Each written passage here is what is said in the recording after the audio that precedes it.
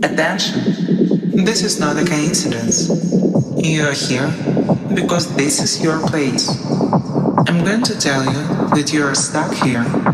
I got what you need. This is our community, the community of ravers. We are always ravers, and now you, one of us.